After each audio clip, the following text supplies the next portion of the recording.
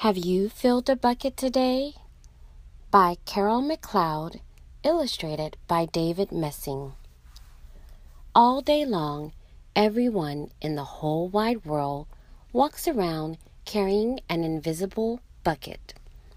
You can't see it, but it's there. You have a bucket.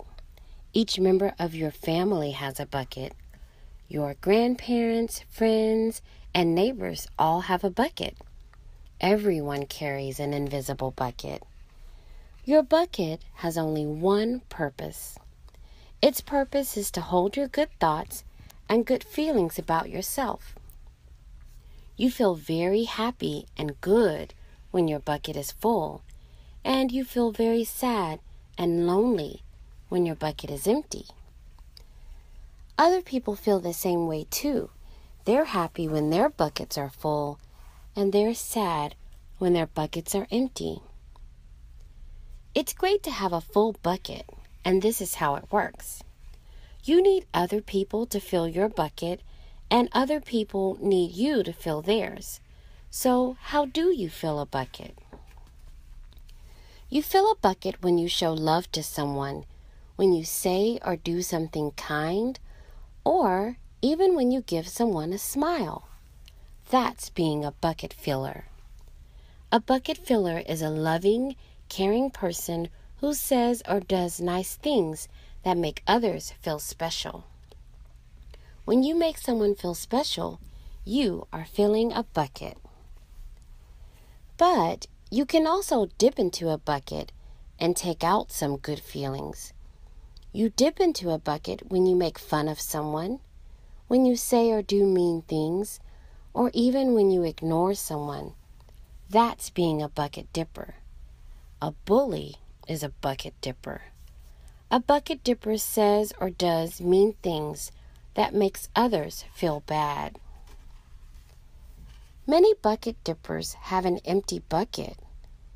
They think they can fill their own bucket by dipping into someone else's. But that will never work.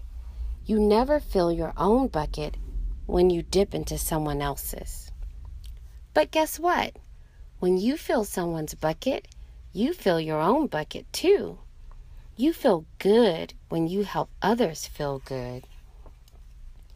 All day long, we are either filling up or dipping into each other's buckets by what we say and what we do. Try to fill a bucket and see what happens. You love your mom and dad. Why not tell them you love them? You can even tell them why. Your caring words will fill their buckets right up. Watch for smiles to light up their faces. You will feel like smiling too. A smile is a good clue that you have filled a bucket. If you practice, you'll become a great bucket filler. Just remember that everyone carries an invisible bucket and think of what you can say or do to fill it. Here are some ideas for you. You could smile and say hi to the bus driver. He has a bucket too. You could invite the new kid at school to play with you. You could write a thank you note to your teacher. You could tell your grandpa that you like to spend time with him. There are many ways to fill a bucket. Bucket filling is fun and easy to do. It doesn't matter how young or old you are. It doesn't cost any money. It doesn't take much time. And remember, when you fill someone else's bucket, you fill your own bucket too. When you're a bucket filler, you make your home, your school, and your neighborhood better places to be. Bucket filling makes everyone feel good. So, why not decide to be a bucket filler today and every day?